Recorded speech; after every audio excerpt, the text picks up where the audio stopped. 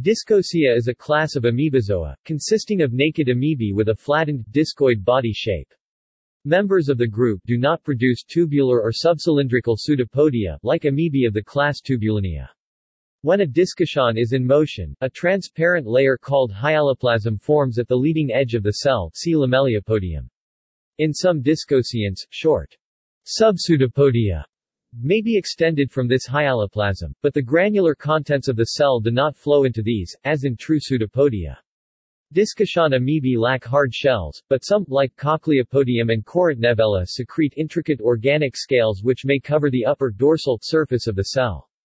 No species have flagella or flagellated stages of life. The composition of Discosea is similar to that of the class Flabellinea, proposed by Alexey Smirnov and his collaborators in 2005.